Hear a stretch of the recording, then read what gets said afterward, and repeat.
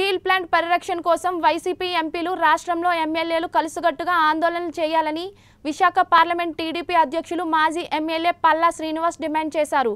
Gajuwaka Telugu Desam party కార్యాలయంలో జరిగిన media సమావేశంలో స్టీల్ ప్లాంట్స్ పరిరక్షణ కోసం భవిష్యత్తు కార్యాచరణ ప్రకటించారు.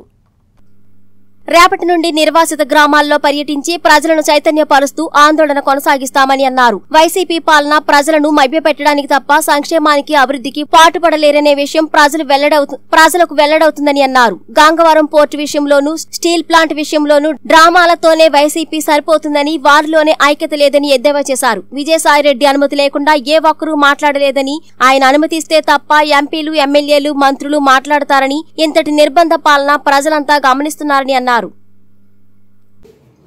తెలుగుదేశం పార్టీ అధికారంలో ఉన్నప్పుడు అప్పుడు వాజ్పేయి గవర్నమెంట్లో అప్పుడు కూడా ప్రైవేటైజేషన్ ప్రపోజల్ వచ్చింది.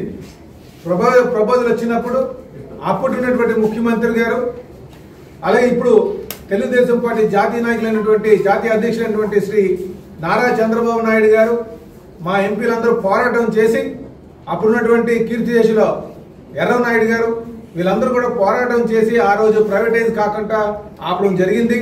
అప్పుడు ఉన్నటువంటి అప్పుని ప్లాంట్ మీద ఉన్నటువంటి సుమారు పదమూడు వందల కోట్ల అప్పుని ఈక్విటీ కింద కన్వర్ట్ చేసి మళ్ళీ ప్లాంట్కి అవకాశం కల్పించి లాభాల్లో వాటిలో వచ్చేటట్టుగా చేసినటువంటి పాత్ర ఈ సందర్భంగా గుర్తు చేస్తున్నాం.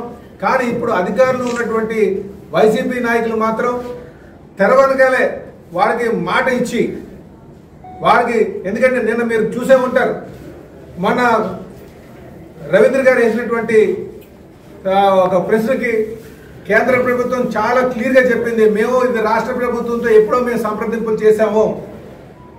అంటే కానీ రాష్ట్ర ప్రభుత్వంతో వాళ్ళు సంప్రదింపులు చే- సంప్రదింపులు చేసినప్పుడు మరి రాష్ట్ర ప్రభుత్వం చెప్పాల్సినటువంటి బాధ్యత ఉందా లేదా? ఎప్పుడు వాళ్ళు బయటకు వచ్చారు.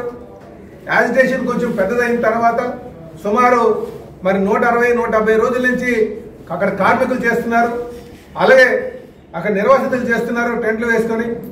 వారు బయటకు వచ్చిన తర్వాత ఆ రాష్ట్ర ప్రభుత్వం మేము ఒక తీర్మానం చేసి పెట్టాం. ఆ అసెంబ్లీలో తీర్మానం చేయడం. అని చెప్పడం జరిగింది. మళ్ళీ ఇంతవరకు కూడా అఖిల పక్షాన్ని తీసుకెళ్ళి ప్రైమ్ మినిస్టర్ గారిని కలుపుతున్నారు అది కూడా కలపలే. కనుక రాష్ట్ర ప్రభుత్వం చేస్తున్నటువంటి వారి యొక్క ఆలోచన వాళ్ళ యొక్క వైఖరి మాకు చాలా అనుమానాలకు దారితీస్తుంది. కనుకనే మా పోరాటం కూడా రాష్ట్ర ప్రభుత్వం దిగొచ్చే వరకు అంటే కేంద్ర ప్రభుత్వం మీద ఒత్తిడి తెచ్చే వరకు కూడా